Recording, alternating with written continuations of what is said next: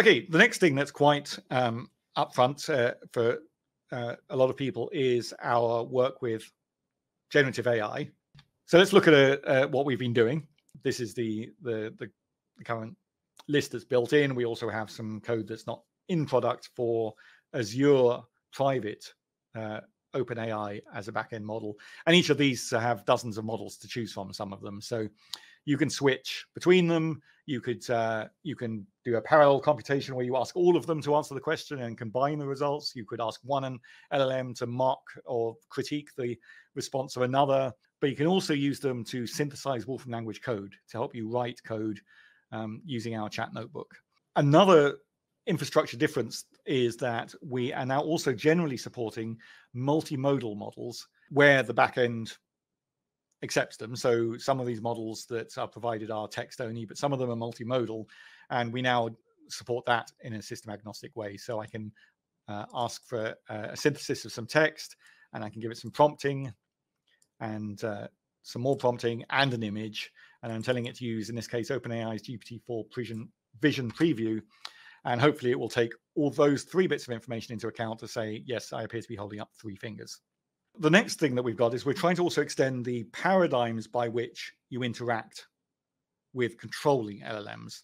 And we've now added some paradigms for dynamic prompt engineering. So we're trying to have a language that if you want to chain together LLM requests, control them, uh, make them do certain things, feed that into user interfaces, all of that joins up. And this is a, uh, a step in that. So I've got a very toy example here, which I'll explain, which is I've got a prompt generator that is going to be the prompt engineering for my persona. But instead of saying that upfront as some static prompts to say, be friendly and nice, answer questions succinctly, um, and so on, I've said instead I'm going to compute those prompts.